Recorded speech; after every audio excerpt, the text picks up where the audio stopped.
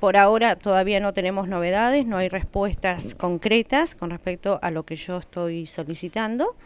Eh, estamos esperando, yo creo que en el transcurso de estos días vamos a tener alguna respuesta eh, positiva, que eso es la esperanza.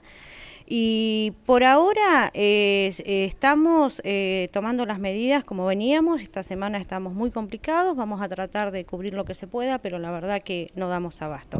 Mira, sinceramente no tengo ninguna novedad de nada. Yo pensé que en el transcurso de estos días íbamos a tener alguna reunión o me iban a llamar para, para decirme, bueno, cómo se está manejando esto desde el ministerio, pero no he tenido ninguna respuesta, nadie me ha llamado, nadie me ha dicho nada.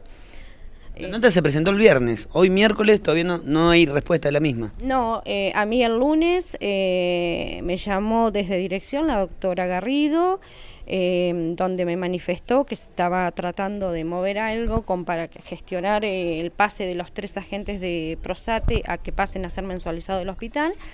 Y bueno, pero después no se supo más nada. Y quieras o no que haya ingresado personal, se haya reincorporado y con tareas pasivas, también es un problema porque eh, una de las mucamas que ingresó ayer con tareas pasivas viene para cubrir la licencia de la que estuvo trabajando 28 días seguidos sin francos rescatar y remarcar eh, el gran esfuerzo, la voluntad y las ganas que le pone cada uno de los agentes que están en este servicio, porque no les importa que le corte franco, ellos se están ofreciendo a, cubrir, pero también tengo que ser este tener la parte de darles eh, eh, los francos como corresponde. A partir de hoy dije, bueno, cada uno va a tener su franco, voy a respetar las guardias como estaban programadas, porque si no la gente se termina enfermando. Me pasó con un periférico, tenía una mucama que estaba cubriendo tres periféricos a la vez y terminó internada con un pensamiento lumbar.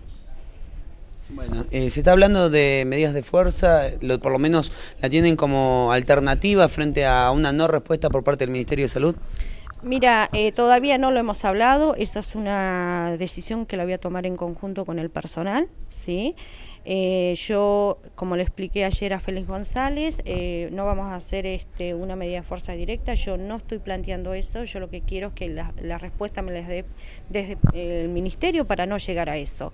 Eh, eso lo evaluará el personal. Eh, hay gente que tengo, muchos de los agentes están eh, afiliados a ATE, que en su momento me lo habían planteado, de que entremos, que hiciéramos un paro, una retención de servicio, pero yo les planteé que no podemos hacerla. No lo hicimos en las veces anteriores cuando se manifestó eso en el hospital y ahora tampoco.